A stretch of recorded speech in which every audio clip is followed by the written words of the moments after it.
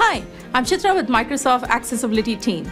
Today, I'm going to give you an update on the change text size feature in Windows 10. In a graphic, a man is at a computer and a question mark pops up. A hand extends from the computer and points to the keyboard. Microsoft support made easy. The change only the text size option was turned off in Windows 10 Creators Update as this feature caused items to crowd things together and had varying levels of support in Edge, Start, and other applications.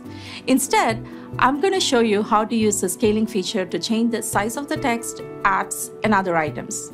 First, please be prepared to sign out of your account. You may want to save all your files ahead of time.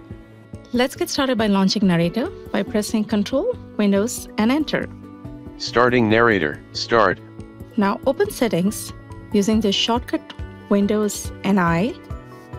Settings. Search box. Find a setting. Editing. Once you're in the Windows Settings window, I'm using the tab keys to select System System.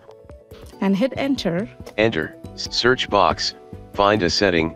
Editing. Now tap to Display and tap down to Scale and Layout. Change the size of text, apps, and other items. 100%. 1 of 4. Selected. to change the size of text, apps, and other items. Now I'm going to drill down here to change the recommended scaling option settings to 175%. 150. 175%. 4 of 4. Non-selected.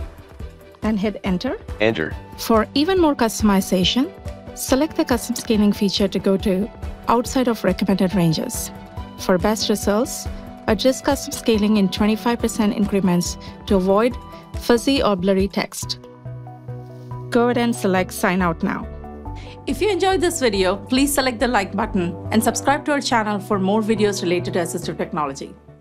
Microsoft logo in high contrast, logo in Braille, logo in sign language, standard Microsoft logo. Microsoft.